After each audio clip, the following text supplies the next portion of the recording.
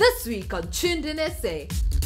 Vic is on the track in this powerful BMW M3.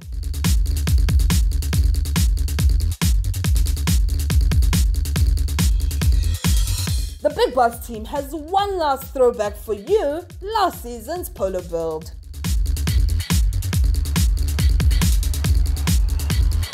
And we end things off with this metallic Jeep from SEMA.